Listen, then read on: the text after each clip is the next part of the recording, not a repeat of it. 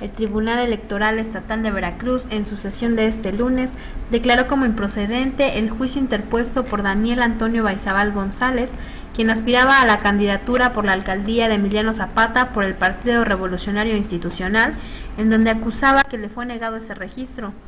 Además de que también se desechó la impugnación al registro de Sharife Osman Flores como candidata a la presidencia municipal de ese ayuntamiento también por el PRI.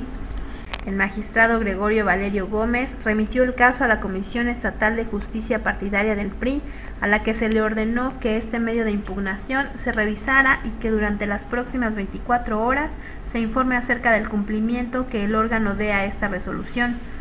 Entre otras cosas, se discutió también el juicio que interpuso Óscar Cid Romero en contra de Eva Mata Romero, quien participa al registro como candidata a la presidencia municipal de Acutzingo, debido a que acreditó todos sus registros para este fin.